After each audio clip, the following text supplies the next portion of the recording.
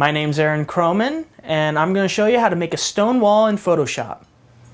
Okay, so I'm going to make a new layer so don't mess up the background. And I'm going to go to Filter and make sure you have a black and white currently as your foreground. You can even play with a few other colors, but we're just going to go black and white. Uh, go to Render and go to Clouds. Hmm?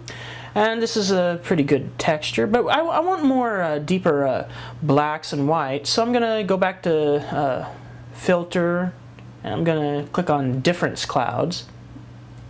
And it just kind of flips everything with a little bit of variation. You could even go to levels if you want, but this is a little bit more fun. Adds a, uh, kind of surprises you what, what, you get. And you can either hit uh, Control or Command F uh, to do the effect again. So, ooh, that looks nice. Little kind of uh, veins of ro white rock. I'm going to hit it again until I get kind of something I like.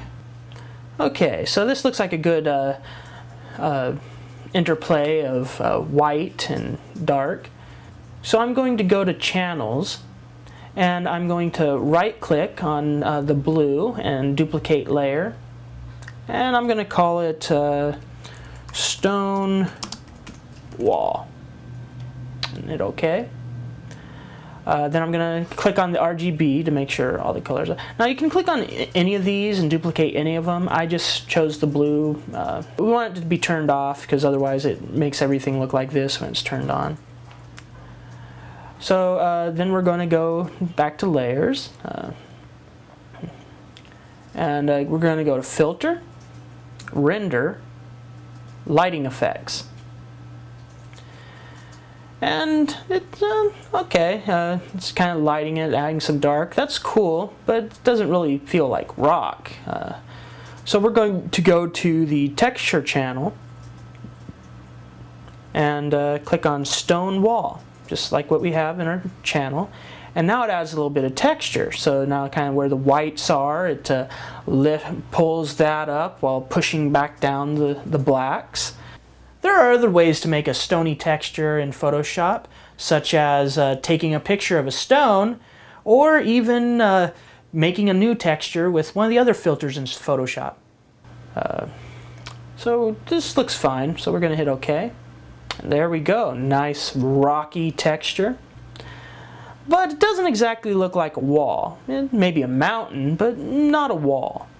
So we're going to go to Filter, uh, going to go to Texture, Mosaic Tiles. And uh, what this does is it kind of uh, adds a texture to the uh, wall, so it uh, looks kind of just uh, like bricks.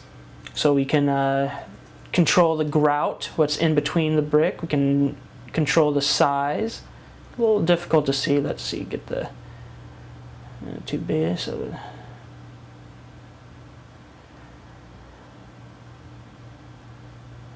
I might need to darken it a little bit later. I'll do that next.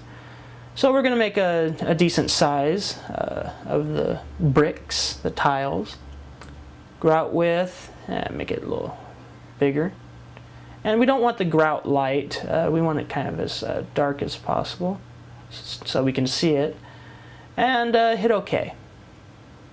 And it looks okay, but I want a little bit more, so I'm going to uh, go to Filter and Mosaic Tiles, so I'll do the same thing again, and it kind of uh, pushes in the darkness of the grout, but kind of wash everything out. I don't really like that. But it's, it's kind of hard to see the grout. Uh, you can uh, go in with a, a brush and kind of darken it up. Uh, just lightly go in for some select areas.